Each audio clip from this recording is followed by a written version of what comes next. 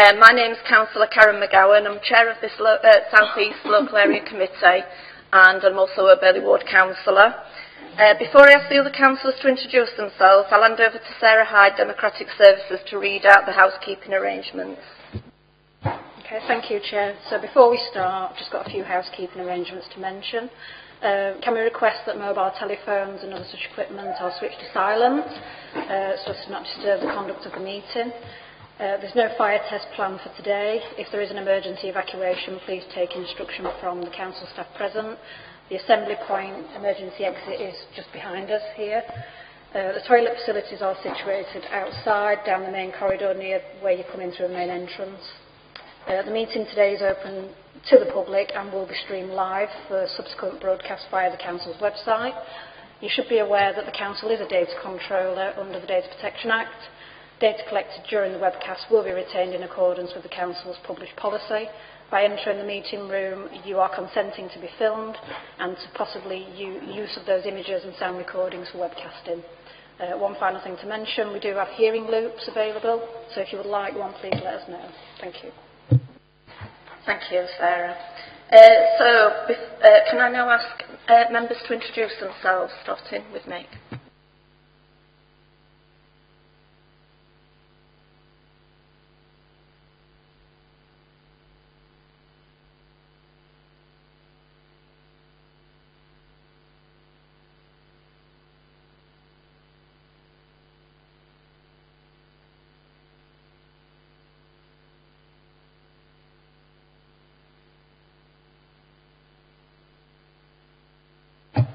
There you go.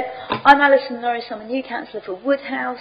Um, I'm also a midwife, and I was working in Doncaster today, which is why I was a bit late coming from there. But I'm also really pleased to be here at my very first LAC meeting as a councillor, and glad that you all could come. Good evening. I'm Councillor Tony Downing, Councillor for Mosborough Ward. Hello, Ann Woolhouse, Councillor for Beighton. Sorry I'm late. Didn't allow enough tra traffic. Traffic, sorry. Hi, I'm Jayne Foulds. I'm the South East Local Area Committee Manager. Uh, Sarah Hyde, Democratic Services. Good evening, I'm Councillor Gail Smith and I'm a Liberal Democrat Councillor for Mosborough. Good evening, I'm Glynis Chapman. I'm a Liberal Democrat Councillor for Mosborough. Hi everyone, uh, I'm Kurtis Crossland, one of the Lib Dem councillors for Beighton. Hello, I'm, I'm Councillor Ian Horner, I'm the new Liberal Democrat councillor for Beighton. Thank you very much everyone. So before we proceed with the agenda, uh, I'd just like to explain how the meeting will work. The agenda has changed slightly to include two extra updates. So firstly, we'll be dealing with the formal business and apologies, declarations of interest and minutes of the last meeting And then we'll have an item where you'll find out more about the members of this local area committee. Uh, we'll then move on to public questions and answers, uh, and then the two extra updates are pro projects identified in the Community Plan 22-23 and feedback and presentation on the volunteer day. Then we'll pause for the, uh, in the webcast and we'll hold discussion sessions breaking out into groups to give you an opportunity to review the South East local priorities. We really want to hear from you about what you think is important in the South East so that we can prioritise things going forward. Finally, uh, we'll resume the meeting to hear back feedback from those group discussions. So I'm now going to go on to apologies for absence, Sarah. Yeah, I've just got one apology from Councillor Denise Fox. Thank you. Are there any exclusions of the public and press? I understand there's no items that require exclusion of the public and press at this meeting. Okay. Item 4, declarations of interest. Do any members wish to declare an interest in any of the items on their business on the, of business on this agenda? No. Thank you. Item 5, minutes of the previous meeting. So I'm going to ask members to approve as a correct record the minutes of the meeting held on the 23rd of February 2023 You've all seen those. Is everybody happy with the minutes? Yeah. So, oh, February in here. Sorry, my notes say February. Sorry. um, let me just check the second one then. Is it the uh, 17th of May? Yeah. Okay. So, uh, and the 17th of May. Everybody agree that they're an accurate record? Thank you. So item six then is meet the councillor. So this is just an opportunity for me to introduce our three introduce our three new uh, councillors, which is Ian Horner for Bayton, as you've already heard, um, Alison Norris from Woodhouse, and Glynis Chapman from Osborough. So welcome to the meeting. All councillors will be available at the end of the meeting. If you do want to have a chat on a one-to-one -one basis, they'll all be hanging around and please do come and talk to us. Tell us what you, if you've got any issues, etc. and we'll see if we can help. Um, now, on to item seven quickly, because this is what we all come for. Um, so there's public questions and petitions. We've received two questions in advance. Um, and for those in advance, I will uh, invite the questioners to address the committee with their questions in turn. I know one person's not here, um, but one is. So is, oh, I think is, is Jill Green here? No? Jill? She was coming in through the live stream, I think. I'll just check. She, what I'll do is I'll move on to the, the other question and then we can see if she's around. Or is she there? She is, okay. You don't have I don't have to turn around, okay. it just feels rude talking to somebody that I can't see. um, Jill, I just wanted to ask, do you want me to, because your, your email is very detailed, which is great, um, do you want me to just read the question out or do you want to give some context? Um, no, you can read the question out, that's fine. Um, and it, I've bolded it in, uh, in bold text at the bottom of my email because the first half of, my, well, a large part of my email was kind of um, feedback on the last session where I was cut off um, from the Zoom meeting uh, before I'd had chance to respond to Amey's response to my initial question. Uh, and also I've done some research on uh, vehicle, uh, littering from vehicles um, on the highways since the last meeting. Um, and I've had a response from Andrew Kemp who is the CEO of Littercam. Um, and he tells me that the idea of um, installing litter cams in Sheffield has been um, explored by the council uh, in the past, uh, as recent as um, recently as last year, I think, um, or the year before. Uh, yeah, August 2022, and Joe Otten, Councillor Joe Otten, um, who was chair of the Waste and Street Scene Policy Committee at that time, uh, said that he didn't think it would be cost effective. So my follow-on question is, um, why was it deemed to be not cost effective? Um, and, you know, what areas were they thinking of trialling it in? Um, you know, if, if they didn't think there was enough littering in a certain area, then why don't we try installing it in um, on the A57, for instance, where both sides of that dual carriageway are absolutely covered in litter.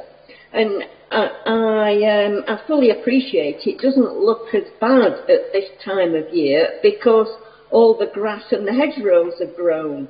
Um, but, you know, and it's covered by vegetation. But there are still people throwing tin cans and takeaway food wrappers and you name it, um, fly tipping even, uh, and carrier bags out of vehicles on the highways. And at the last meeting, I was um, told by Amey that um, I should volunteer to be um, a litter picker and uh, that they only picked up litter twice a year from the side of highways and that it, it was a waste of time anyway because it just gets re-littered. Um, and Gail Smith, Councillor Gail Smith said, well, I think she thought that I was trying to say it's a vehicle, littering from vehicles is a, quite a different issue to pedestrian littering, um, which the volunteer litter pickers tend to tackle. Um, So I'd like to know, um, would it be possible for the local authority to look at trialling it, uh, trialling litter cameras, or at the very least putting some signs up um, on the arterial roads out to the southeast, such as the A57, um, to um, to warn people that they'll be fined.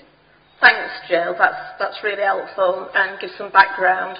So your question that you actually put in was, please could the South East Light devote some of its resources towards asking the Waste and Street Scene Policy Committee to reconsider trialling the use of litter cams on our most littered highways and on what basis and in which area of Sheffield was it considered to not be cost effective? We will take that forward with officers. We will get you a full response. Um, and We've got now um, what you've said, the additional questions, so we will get a response to those as well on the research you've done. So thank you so much for putting that forward. Uh, just for your information, it's still Joe Otten that's the chair of the Waste and Street Scene Policy Committee, but we can raise it with him mm. as well. Thank you very much. Okay, thank you. Thank you. Thank you.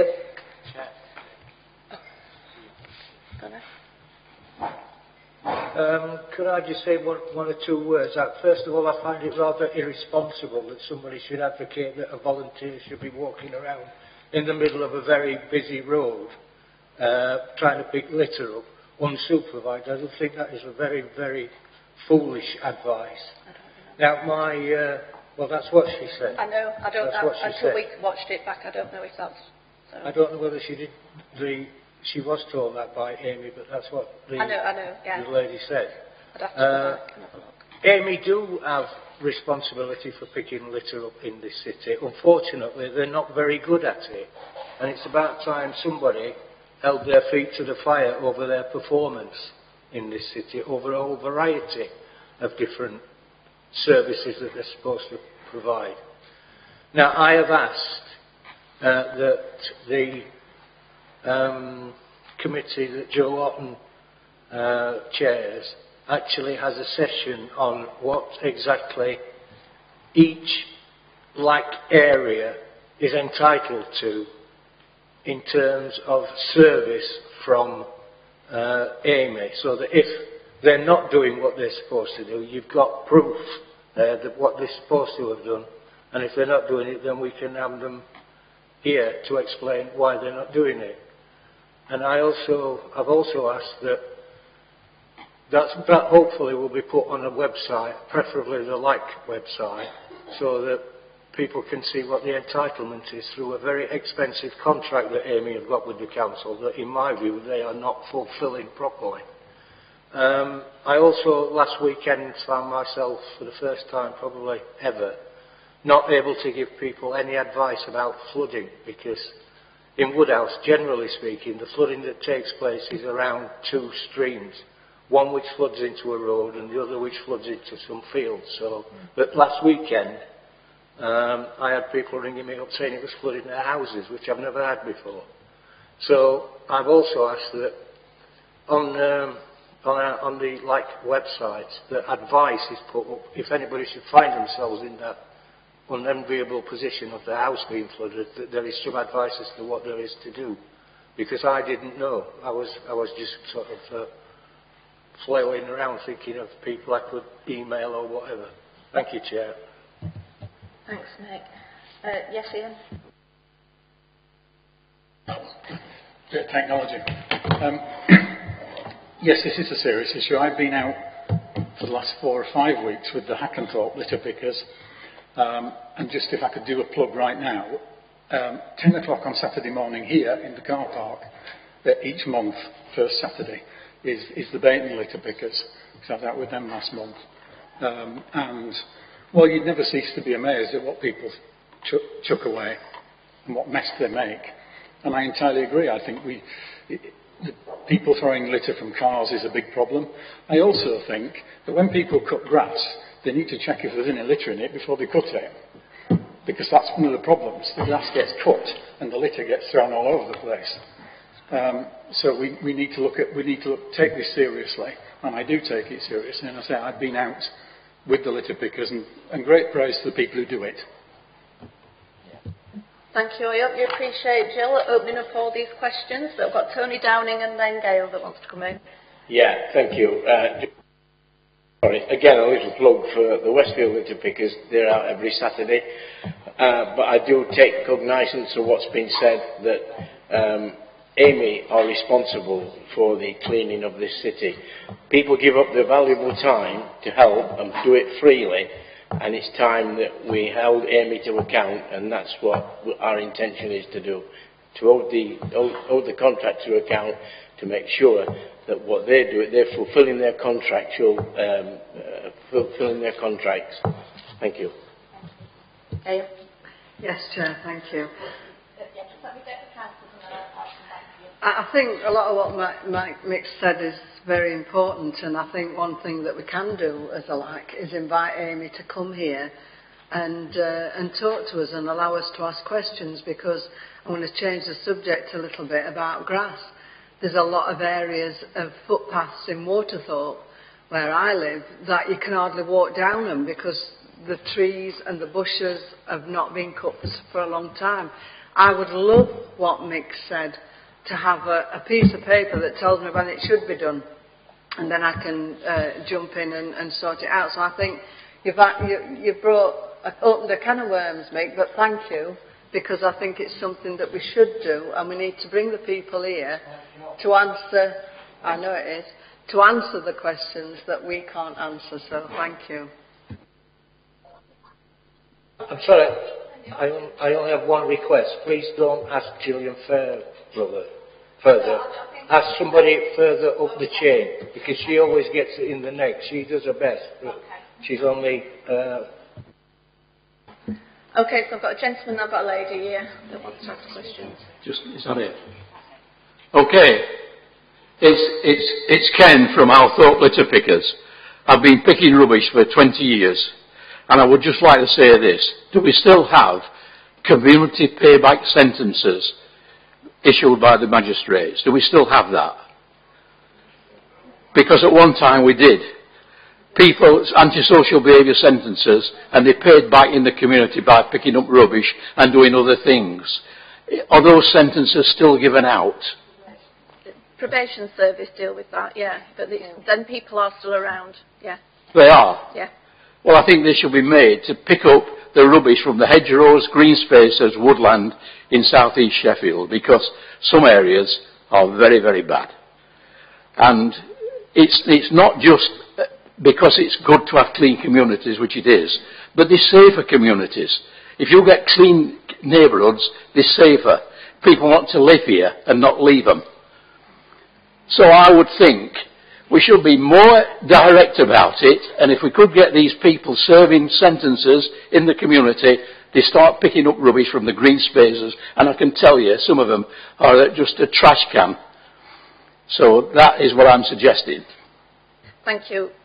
Just for a bit of information, I've done litter picks myself and I have had the probation service out with us, so I'll take it from here that I will write to them and invite them out into the southeast to help with our litter picking groups. So I will do that as chair of this committee and there's this lady here. Thank you. Just putting myself in the firing line. I am here from Amey um, in place of Gillian today, so I can't answer any specifics because I don't cover this area, but I'm here for, for Gillian to pick up anything. I think okay. as we've heard from me, we, no, no, no. no offence to you, but I think we want someday, we want higher management here because, you know, Gillian's done a great job at dealing with us, but I think she's one person trying to cover the whole area and it's not fair on her or you. Yeah, thank you. Um, just moving on, I've, the second question, I've got six questions within it. So um, promote, uh, it's from Dave Cronshaw, and I'm going to it's got various questions from uh, employing two more community wardens, asking about ward pots, film money, about burglaries and thefts, um, about the lack budget and about plastic recycling and bigger blue bins. So there's a lot there, a lot of different topics. So I'm going to get a written response, which will be attached to the minutes and everybody will be able to see that, but I will get a written response to every point that is raised on there and you'll all be able to see those as well. Okay. So that's, switch myself off, that's the um, public questions over with. Um, yeah, is there anybody else that wants to ask anything from the floor before we move on?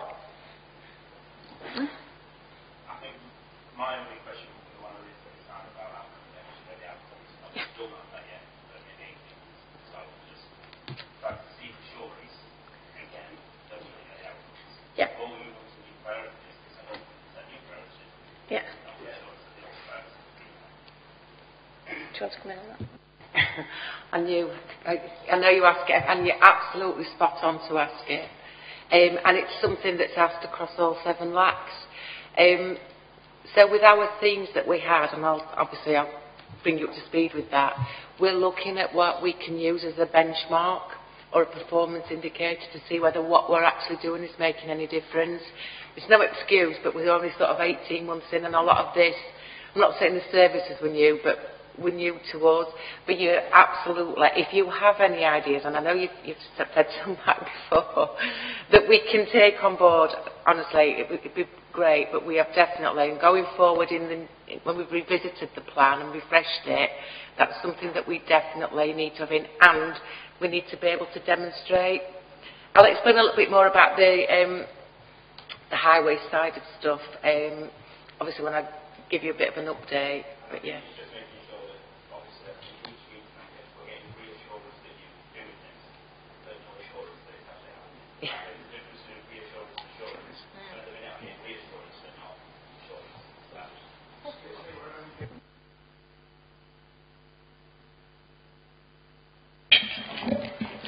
Sorry, it was just saying we want reass- we want assurance instead of reassurance. I think in each meeting we keep getting reassurance that this is happening, but we actually want assurance um, so we can see it is happening.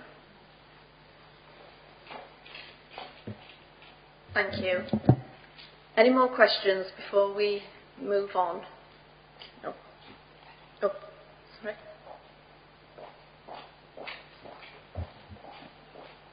What's that? Sorry, I was just interested, just about the, you know, burglaries and thefts that you, um, that one of the questions, was that for, which area was it for? Because I know that just from our community, there's a, a massive concern at the minute just around um, the burglaries and thefts that are happening. I just wondered if there's any opportunity for us to get any of the local neighbourhood policing team or something at one of the, to one of these meetings. Is that something that's possible?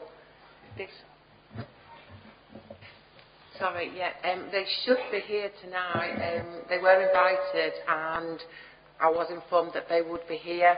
I'm presuming if they're not, they've had some sort of urgent call because they normally do come to every meeting. Um, so I'm not, they're not here, are they? Samantha's not here, no. But we will, we can pick that up.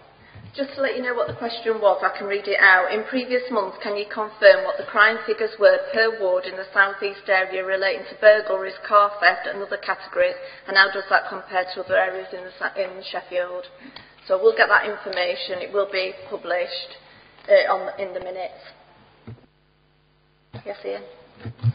Yeah, um, in one of my community visits, I, was advised by a police officer that there are in fact only six police officers in, in, in Moss Way police station. If you think about that, um, their ability to respond to things is very limited because if they arrest somebody, that ties up two, that ties up two officers plus the custody sergeant, etc. So one of the issues really is it's well and good to say the police don't respond, but I wonder how six people are meant to respond. Thank you. Yes, Alison? Um, just to say, I spoke to Inspector Watkinson as part of my own induction and getting to know things, and they are working really hard to evidence need to get more officers from September. Um, and also, I know there are problems with reporting, both with the length of time you're on the phone and sometimes with getting a password for the online reporting portal. But if you can stick with it and get registered on the online portal, all the reports we get, and it doesn't matter if the same people, you know, if different people report the same thing, or you report something that was nearly a crime but not quite, just all those incidents, if the more we can report them, the more we register on the overall South Yorkshire system as needing extra officers, and it really helps them argue that we can get extra people. Tony? Yeah, I've recently been uh, part of the police and crime panel, which uh, which sits in Barnsley, and uh, we had a briefing from the police and crime commissioner to say that new officers are being recruited, but unfortunately now it's like everything else, like nurses as well, they have to go through a certain a degree uh, before they can be uh, made police officers. So it takes three years from recruitment to actually getting them onto the streets. And so, so that's another issue that you should think about when you're thinking about we need more police on the streets. We do, it's important, and, uh, and I said that, that's, that's where we are with, with, with that one. Thanks, Chair. Gail? Yeah, I think it's important to reiterate that you, know, I look at Facebook uh, uh, community groups and community people in the community say, "Oh, Joe Bloggs had this done and that's happened," and I'm always very tempted to say, "Did you report it to the police?" Because a lot of times people are saying what's happening, but it's not getting reported. So incidents can become big incidents if they're not reported, and if the police don't know about them, we can't criticise them, can we really? Thanks, Mick.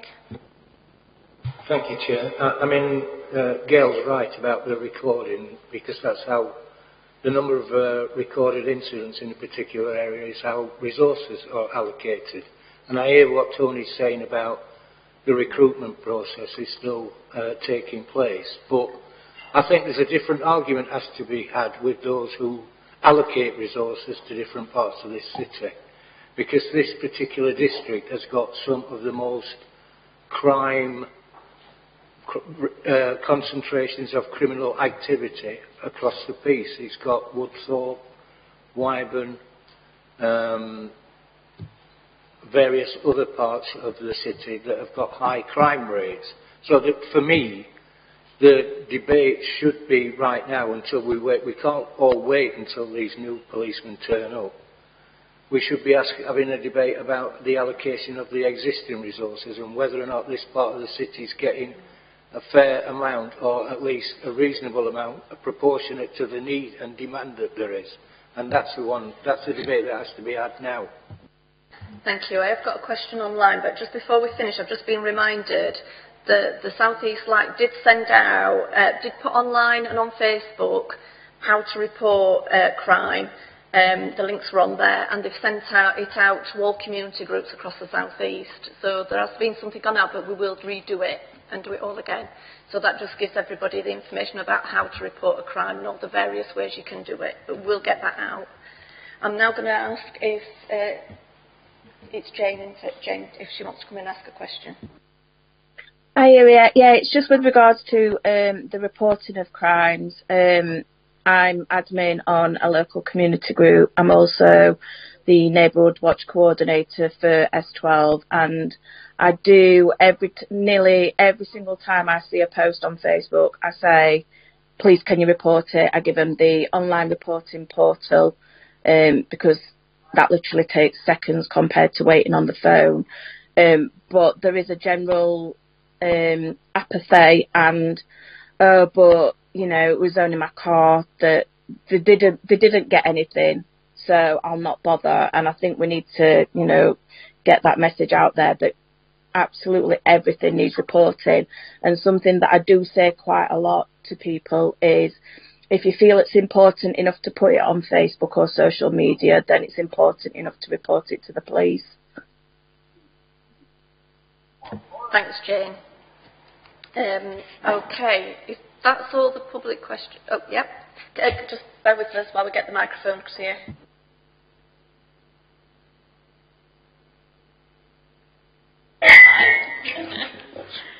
Right. Okay. Um, yeah. Uh, the problem I have is having some land in northeast Derbyshire, but living in Mosborough. Now, I often see litter or motorbikes or disruptive behaviour coming from South Yorkshire. And I wondered, how is this information shared? Because I do report crime, but very often to North East Derbyshire. And I think it's vital that these two police areas, policing areas, liaise very closely. Thank you. Yeah, it, just going from experience of trying to deal with speeding across two and, and trying to, there's a definite boundary line where that's not us kind of um, feeling. So, yeah, um, I'm not sure how much they do talk, but we can ask that question. We have got the contacts there, so we could ask them the question about how do they share that information. Come back to you, Jayne, on that. Okay, thanks. Turn yourself off. Any more? We'll move on to. Okay, thank you. So uh, over to Jayne now for update on projects identified in the Community Plan 22-23.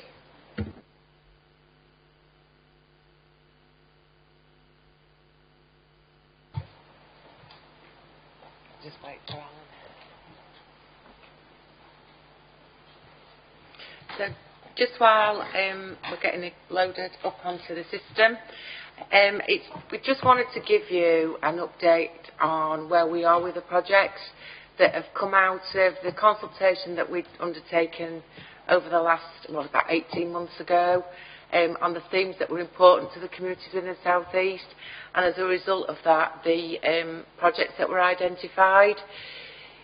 For those of you that have been to a few of the meetings, you'll know that we did um, a detailed spend report in January and then I gave an update in March.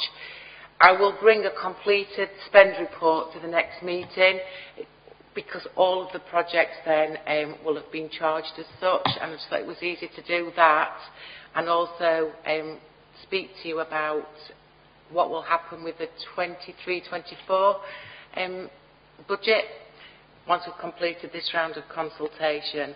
So this is talking about the um, community plan for 22-23 and it'll just give you an update on the projects, as I said, that we've developed and the themes, if you weren't aware, we had three key themes that came out. Transport on highways, environmental and crime and community safety. They were the three key elements. And then I just wanted to update you a little bit on um, issues around youth provision budget that we received and also a fly, fly tipping budget as well. Okay. Okay. So, um, under the Transport Highways project, that was by way the highest um, theme that came out, and it was predominantly around um, speeding vehicles and inconsiderate parking and poor parking or lack of parking. So um, as a local area committee and with the local community groups, we looked at what potentially we could do, working with obviously colleagues from different services, both internal and external, and with different community groups um, and members. And the key thing that we looked at was how we could actually um, make a difference and influence speed reduction. So to do that, and it comes back to the point that you, you made earlier about how we can measure if what we've done has made any difference. We, as a LAC, haven't got thousands of pounds worth of money. We had £100,000 that we allocated to all of the priorities. Um, so what we looked at, and with consultation with yourself, was how we could gather that data um, to be able to go to the relevant services and say, look, this is a real issue in the South East. We know it is because you've told us, but here's the evidence to back it up. So some of the things that we actually purchased for the South East um, was the um, speed gun. So we worked with our colleagues um, from Moss Way and we purchased a speed gun um, that is used solely within the South East area. And they gave us a commitment that they would use that um, weekly, obviously dependent on other um, issues that, that would come to the forefront. And they've given me some information and they'll give us some more in, um, complete information. But they have been out on numerous occasions with the gun. You will probably have seen it if you're on Facebook pages, because the minute that the police go out with a gun, they get heavily slated for haven't they got anything better to do. But actually, it's in response to what a lot of the community groups were saying to us, because they're fed up of vehicle speeding. So they they have been out.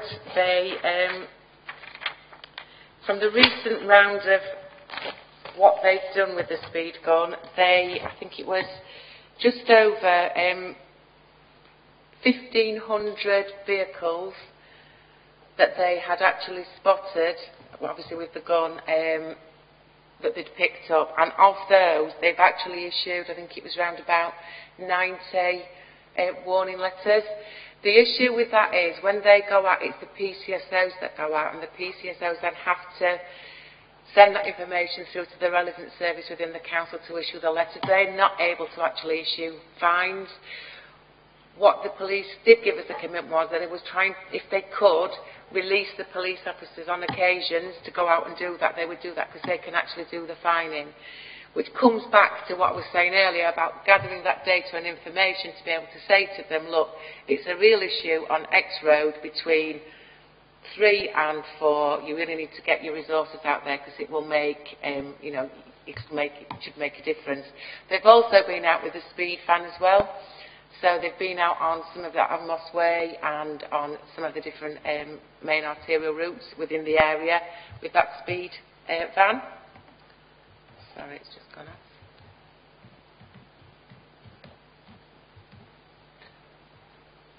Technology, eh? Okay. So one of the other things that was really key um, that you asked us to do was undertake a speed um, survey for all four wards. So we started in the Mosborough ward and then we rolled that out across the other three wards and we did an online consultation and we did some focus groups so that allowed you the opportunity to tell us what it was that was an issue for you within the area that you lived. So within the Mosborough ward, we got um, just short of 300 responses back, and I don't think it told us um, anything that wasn't particularly, eh, we weren't particularly aware of, but what it did do then was allow us to go and concentrate with the speed strip surveys to back up that data and that evidence and give us the information about when the actual speeding was taking place.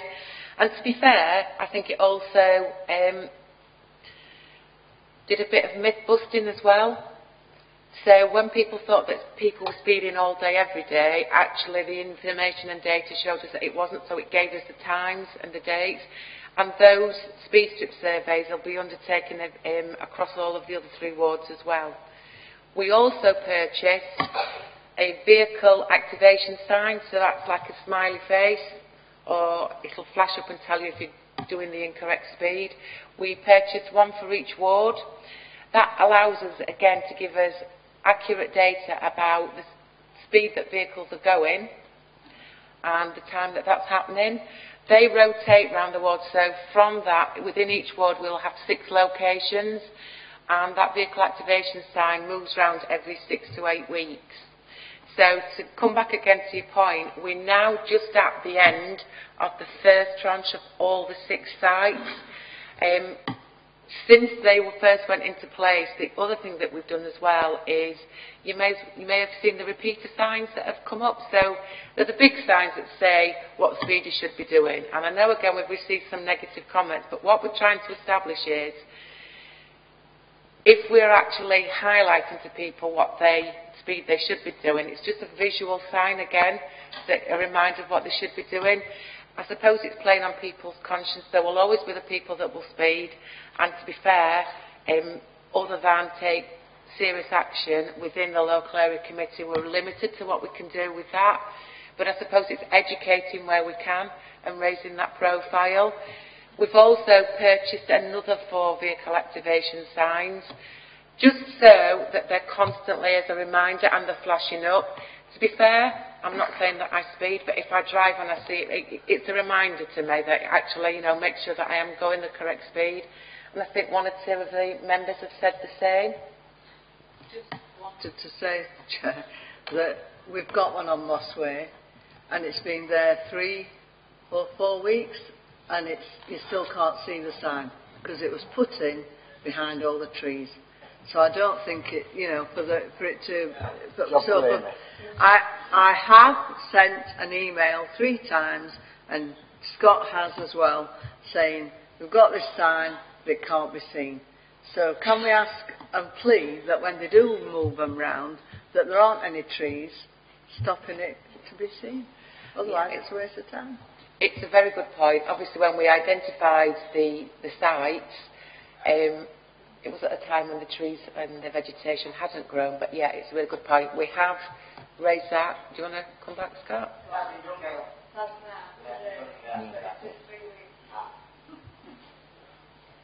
Okay. Um, the other thing that we've done as well and that we've been asking for um, is the police are very keen if there are any community groups or residents that would like to get involved in the community speed watch scheme. That's something that they were really keen to develop. Local members have been out with the, with the gun. Um, so if there is any of that, we've, I think we've had one area where we've had some um, feedback and obviously residents have been keen to do that. We thought there'd be a lot more actually, but that there hasn't been. So if there is anything or there's anything stopping you, then please let us, let us know. So that's what the biggest bulk within the Transport and Highways um, theme um, was spent on. We've also undertaken to, look, to take a look at parking. That was the good and bad parking scheme. And we've had, we normally have the local schools here that, that have undertaken the scheme where we give them certificates. Um, we've engaged with six of the local primary schools We've stopped now until the schools go back in September, then we'll be revisiting that and refreshing that. That goes down exceptionally well. We accept it's a short-term measure because the parents tend to um, take note of it for a couple of weeks or perhaps not as long as that. So we're also working in certain areas to try and establish what other further things that we can do with that. But it went down exceptionally well, the, the good bad parking scheme. The kids love it. They love to go out and ticket their parents, especially if they've done bad parking. Um, the next one is, is just some, and you'll see them from around the room. There's just pictures of the projects that are there. Okay. The next thing that we had was um, the environmental projects, and again that came out very highly from the consultation that we've done, and that addressed um, a number of issues really The key thing was that we that we've got some very passionate um, people and community groups across the southeast that felt within the area we should be doing more to protect the environment. So one of the things that came out of that and that we looked at was to develop a, an environmental project group. So we've been working over the last um, eight months to develop that. We now have a core group and on that environmental champions group, we also have lead people from the different parts of that. So, for example, on there we have the environmental champions for active travel, which is James Walker. We have the rewilding champion, which is James Rhodes. Um, the community gardens is Rosemary Rabjohn. The S20 Green Corridor we don't have anybody for that at the minute, so if anybody is interested in being a champion for that, just let us know. Community Orchards is Adrian Burke, and litter picking is Sue Smells. And that group meets um, every quarter, and the aim is that those champions will feed back in there. You did. That's my apologies. You did. Thank you, Claire. Claire and Sandra said that they are now the S20 champions. Thank you. okay.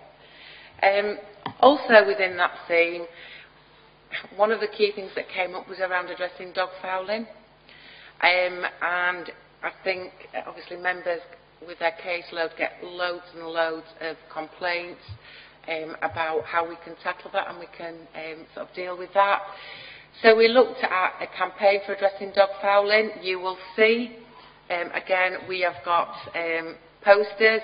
Anybody that's just been in Frecheville Park will see there is a huge poster um, with a boxer dog that's on it um, that actually is, I suppose, again, it's pricking people's conscience to say, you know, pick up after your dog, please. It's not nice. be a responsible pet owner. We've also trialled in a couple of the parks the dog dispensers to see whether that makes any difference. Again, to come back to your point, we're only two or three months into that, um, so we wanted to be a bit longer because that was only gone in, but that is something, I'm really not sure how we evidence that. I think that we're more around the complaints or the amount of times the bin gets um, emptied, but so there's something along those lines there. We are also working with colleagues within uh, parks, woodlands and countryside about an educational project working in the Shirebrook Valley with the local junior schools. So that will take off this year. Again, it's gone up, sorry. What's your, what's your password again? I know. it is. Um, we've also, um, the group decided to allocate some funding for the um, local groups around fruit tree pruning. So I think some have already been on it, but parks, colleagues in parks will be delivering that training throughout the year. There is um, some amount have been allocated to, um, we've got some orchards within the southeast area. So the Basin Orchard had been identified as one where we would pick that up. And we also funded litter, picking, litter picking equipment for the groups that are working throughout the southeast. We also identified and worked on a sponsor a street initiative. There's some leaflets at the back. That's where if you want to um, adopt your street as such, it's nothing um, too onerous. It just means you are a, a, a good neighbour as such.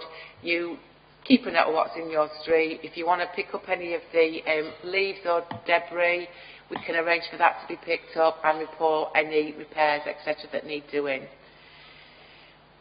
We purchased um, a wellness totem pole, and I'm not sure if any of you are familiar with the one that we've got in the Frecheville Park area.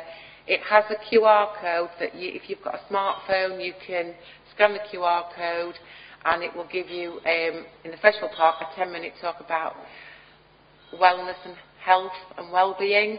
The one that we will have in the S20 corridor will give you information about environmental awareness. And we are also within the southeast, there are local environmental projects that the Environmental Champions Group that I mentioned earlier have been allocated some money to come up with ideas and projects that they would like to develop within their area. Okay? Thank you.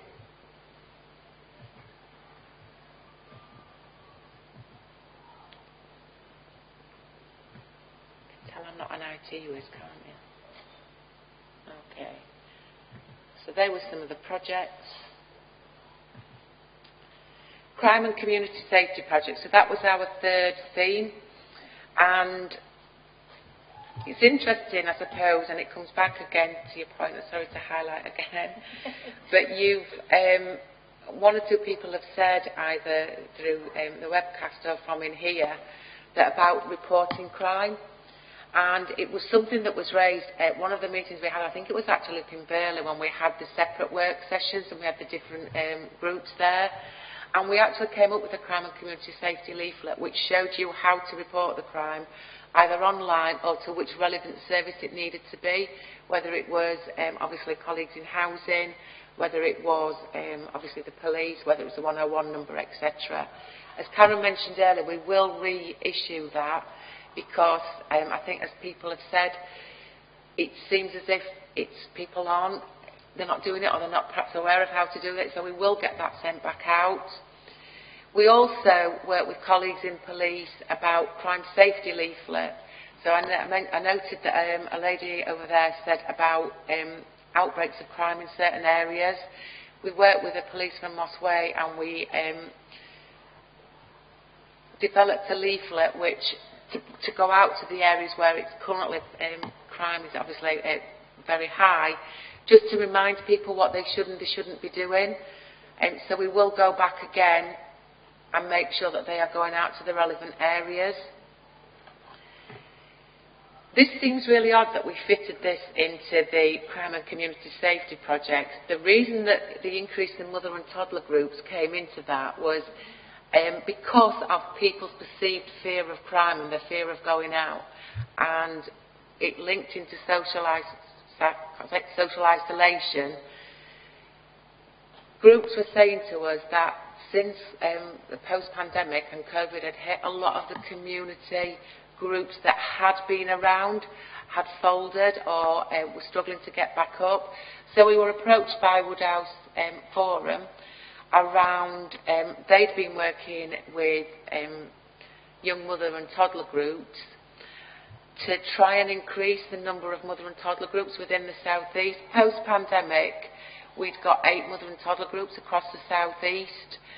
So um, Woodhouse Forum wanted to work with the um, child services within the council to up that number and they gave us um, a commitment that they would try and increased that number by three per ward. They've given us information and feedback to say that they've now increased that number by 20. So there's, each ward has got a number, um, five per ward, where the mother and toddler groups have been increased.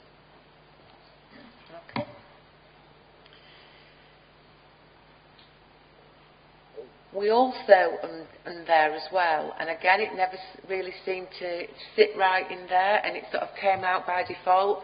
The reason that I'm saying this to you is when we go into the breakout sessions next, uh, obviously after this, is just to think about what it is that's important to you and within your community. People again were saying to us it was their perceived fear of crime and the fact that with gangs of youth that were hanging around street corners and the fact that there were large groups of um, youth hanging, couldn't necessarily, not necessarily doing anything. Obviously, in some of um, circumstances they were, they were causing antisocial behaviour, but in others they weren't. They were just finding a place to gather. And um, what we did, um, obviously, what members were saying to us, the youth provision in the southeast area is, was exceptionally low. There was hardly anything at all. I think there was um, one provision through the youth services, which was in um, the Mosborough ward, and then there was some small-scale schemes that were voluntary run in some of the others. So um, the LAC have worked, worked hard with um, Sheffield Futures and with the voluntary groups and with Sheffield United and Sheffield Wednesday.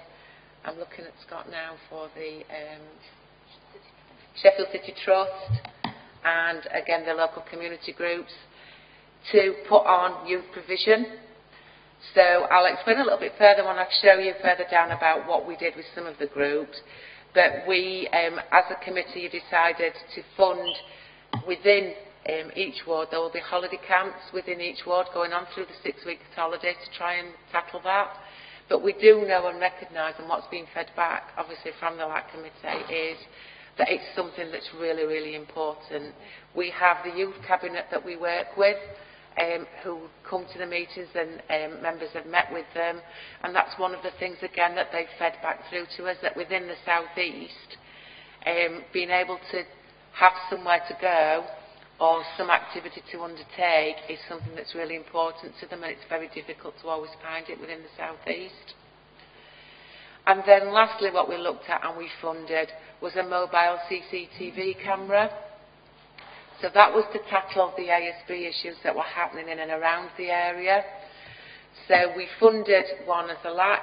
It's currently in the base green area because there's issues that's happening in and around that area um, that we're working with, obviously, local members, youth services, um, and the other services within their parks, Amey, etc., housing, colleagues in housing. Um, and the community safety team.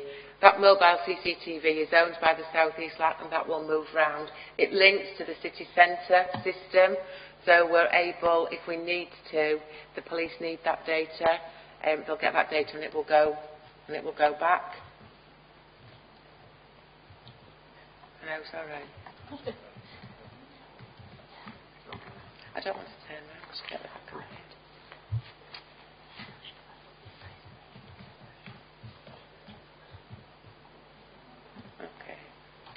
back. Right, I'll not go through the pictures because you'll see that most of those pictures that are on there um, are, are up on the boards. Um, I'm just conscious that there might be questions and obviously other things. I just wanted to say, and again it's for you to bear in mind, we didn't, we weren't able to reach or tackle everything that came out of the community plan. So it may be something that you possibly want to revisit when you're thinking about when we go into the groups for discussion. Community transport um, was raised and that was accessibility across the area. Active travel was raised, it's something that you wanted to explore. Um, transport networks, again, which I suppose links with the community transport. And then education and information around recycling and additional bins was something that came out. So there's an, opportunity, there's an opportunity to revisit um, priorities, again with the local communities. We're starting that now. We're starting that here. We've got on online consultation that's taking place currently, and we're hoping to do some small-scale focus groups in and around the area.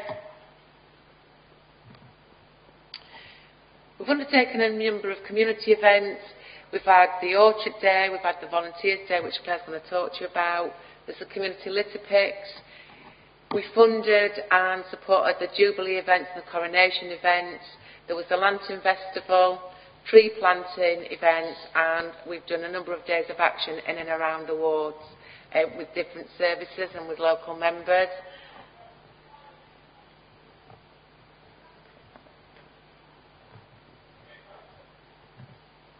Um, and I just wanted to, um, I have talked about it, but I never gave you the, the examples. So as a LAC, each LAC received um, £57,000 for target hardening measures for fly tipping. So the areas that were in, identified within the South East area and which will receive the target hardening measures are Stone Lane, Victoria Road, Birley Vale Close, Valleyfield Drive, um, New Street, which is where the Longacre site is, and Junction Road slash Station Road. Um, what we know currently is for those sites, it's not, it hasn't totaled the full 57k. So if there are any other areas that you can think of that are repeatedly areas that get fly tipping, then if you want to let your local, uh, obviously councillors know, let us know and we'll feed that in and see what we can do about that. But the work is starting on those areas um, imminently. Each of the LACs also received £10,000 as well on youth provision, a further £10,000, um, and that was for community groups to bid for, to put on youth provision. So within the South East, we had Studio 54, which received funding, and that was to deliver youth provision from the Crystal Peaks Church. We had Friends of High Fives that received funding, Fresh Youth, Charnock Bike Track, A Mind Apart, and Sparview Community Church. So that's just some of the projects, and it was to give you a flavour. Like I said, we will bring, I will bring a complete spend update, which will show you exactly what's been spent. Um, but that was the whole of the 100k, which has virtually been allocated for 22-23. What the members did agree was that any underspend um, that sort of like left, that would go to support any community um, events, festivals that's been put on through the summer period or through the period. So if there is anything out there, uh, we've had a couple of requests. There is. It's not a huge amount of money. It's um, up to £250 um, that we could go towards. Okay. So that's it. Thanks, Jane. Any questions about that before we move on? Because I'm conscious of time and we need to move into the discussions group so that you can all have your say. But... Go on then, Mick. Be brief. It's about the idea of uh, the fruit trees. Uh, how do you, how's that working? Because I was just thinking in, in our part of the world we've got a number of empty uh, allotments that people don't want. So rather than sit there doing absolutely nothing, maybe a few trees on there. I don't know. So we can we can take it forward to the environmental group and see how we can take that forward. See if there's anybody interested. Thank you, Mick. If you can if you can feed through to Jayne where them group where they are the plots. You think you know? Yeah. All right. Okay. Thanks. Okay, so now we're going to move on to uh, feedback and a presentation by Claire on the Volunteer Day. Before we do that, I just want to say my personal thanks. It was a fantastic event. I think everybody that took part in that um, agree. You did a really good job. Well done. Um, so I'll let Claire talk about it and how it came about.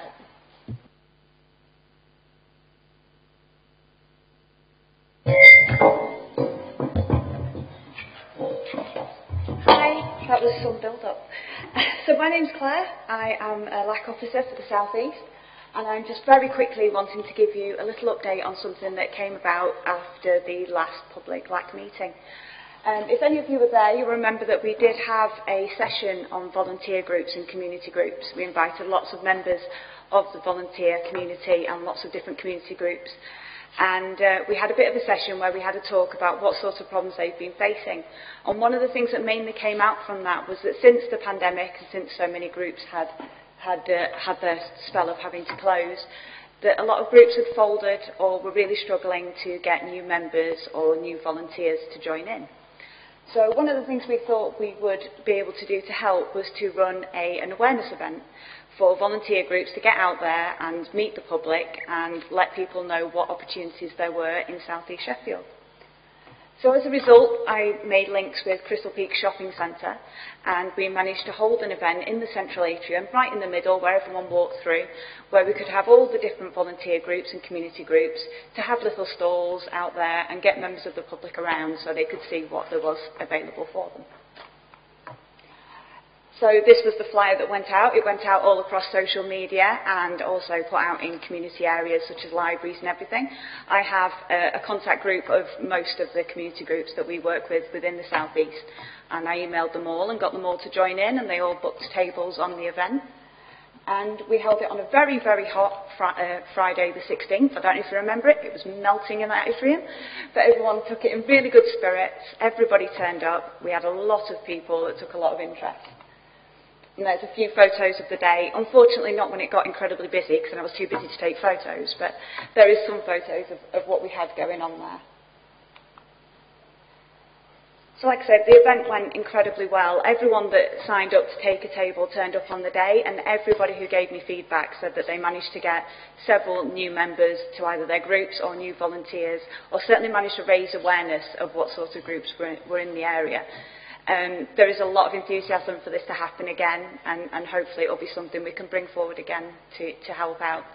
Like I say, it's, it, was, it was something that went really well, and we really enjoyed it. So, thank you very much. Yeah, yeah. Uh, just say, I'll get a bit nearer. Just to say that Voluntary Action Sheffield and SciFab, the Funding Advice Bureau, are there. So if any of you are involved in voluntary groups or know people who are, I would just really put a plug in for the support and training and advice they give because they can they can really point you in the right direction and those two groups work together very closely. So things like accounting, fundraising, legal responsibilities for managing volunteers, they can really give you back up with that. Thanks. Okay, so we're going to now pause the webcasting so we can go into groups and have discussions. Uh, so if you can just bear with us a few minutes, uh, we're going to split you into three groups and just move the chairs around basically so everybody's facing and we'll just get your thoughts on what you think the uh, priorities are for the South East. Thank you.